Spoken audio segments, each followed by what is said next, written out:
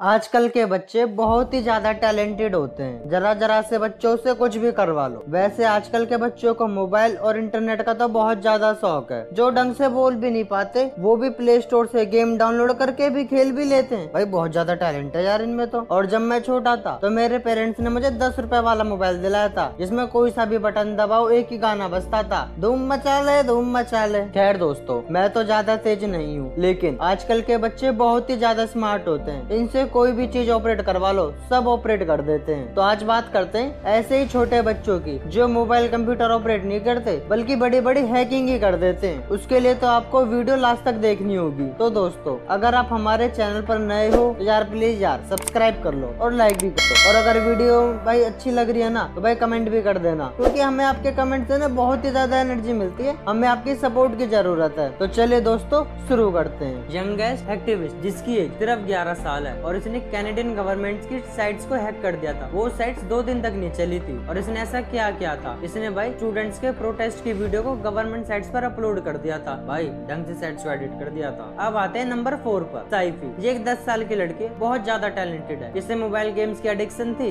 इसने कई सारी मोबाइल गेम्स को हैक कर रखा है। बहुत बहुत सारी गेम्स को हैक कर रखा है। अब आते हैं नंबर तीन पर। नंबर तीन पर कौन है? वो है बैटसी डेविस जो सिर्फ़ सात साल की है। इसने एक रेस्टोरेंट में ओपन वाईफाई हॉटस्पॉट को हैक कर दिया। था। और उस हॉटस्पॉट से जितने भी मोबाइल, लैपटॉप कनेक्टेड थे ना, उन्हें भी हैक कर दिया था। फिर वो चाहे तो उनके बैंकिंग डिटेल्स भी निकाल सकती थी, लेकिन उसने ये सब नहीं किया। यार वैसे भी सात साल की लड़की को पैसे का क्या लालच? उसने तो सिर्फ़ अपने एंटरटेनमेंट के लिए ये हैक किया था, वो भी अपने बेसिक लैपटॉप से। ये सच में बड़ी बात थी। अब आते हैं नंबर टू पर। फिर आए अपने क्रिस्टोफर वैन हेसल जो सिर्फ़ पाँच साल का है। लेकिन इसके काम इतने बड़े हैं ना, भाई पूछो मत कितने बड़े हैं इसके काम। क्रिस्टोफर ने माइक्रोसॉफ्ट जैसी बड़ी कंपनी को हैक कर रखा है। नहीं नहीं नहीं, पूरी कंपनी नहीं। सिर्फ़ गेम खेलने के लिए एक्स बॉक्स लाइव को हैक कर रखा है। लेकिन एक्स बॉक्स लाइव को हैक कर कर भाई इसने खूब गेम खेली है और खूब मज़ा लिया है। फिर इस लिस्ट में नंबर वन पर है डीजे स्टेलर ये अमेरिका का सात साल का एक बुरा हैकर है। हाँ इतने सारे हैकर की इसके सबसे ज़्यादा। लेकिन इसके काम भी तो यार ऐसे ही है